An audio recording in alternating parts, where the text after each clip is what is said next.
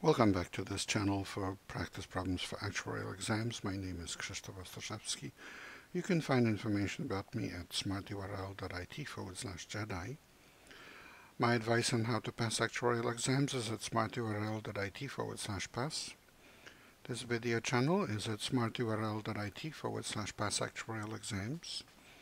Here you have information about online seminars and study manuals for exams P, FM, IFM, and LTAM that I offer. I direct the actuarial program at Illinois State University. You can find information about it at smarturl.it forward slash actuary. If you would like to offer a tax-deductible donation to support our students, please go to smarturl.it forward slash help ISU actuary. Here's a problem for today for exam IFM. The following table shows the beta and expected return for each of five stocks. So you have uh, stocks 1, 2, 3, 4, 5, and uh, betas for them are 1.2, 1, 0.7, 0.4, 0.1, and then the expected returns 0.124, 0.110, 0.103, 0.068, and 0.047.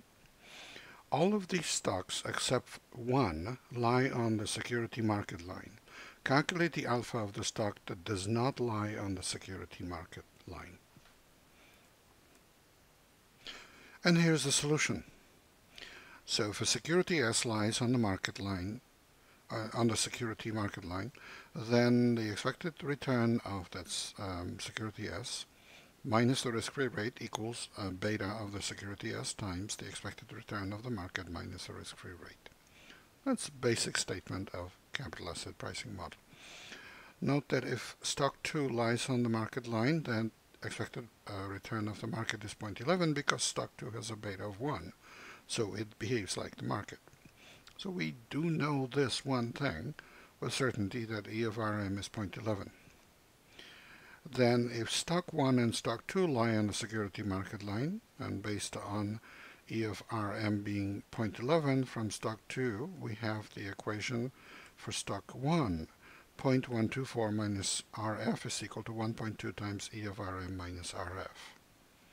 So that um, we can um, get from this uh, what Rf would be if um, Mm, stock 1 lies on the security market line, that RF would turn out to be 0.04.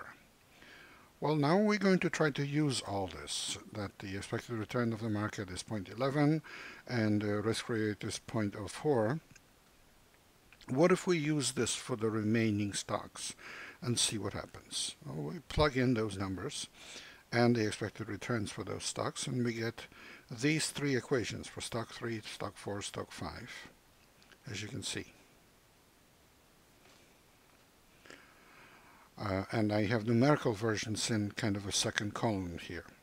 So those, those are actually numbers that are supposed to work. Well, okay, then these three statements some, say something like this, basically, that 0.063 is equal to 0.049. Well, it's obviously false. It can't be like this. 0.028 is equal to 0.028. That's correct. That's true. And 0.007 is equal to 0.007. That's true. We were told that one security does not lie on the security market line. Well, that's how it turns out. That stock 3 doesn't work. It's not consistent with everything else.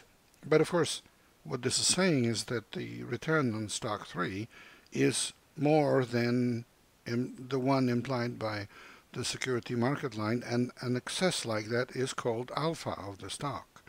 So this stock has a positive alpha.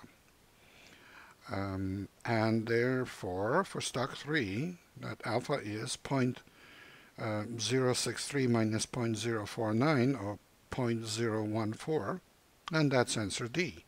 So everything works. We got answer D. Please remember this is copyrighted material. The problem itself comes from Society of Actuaries. The solution is mine. Good luck in your studies and good luck on the test.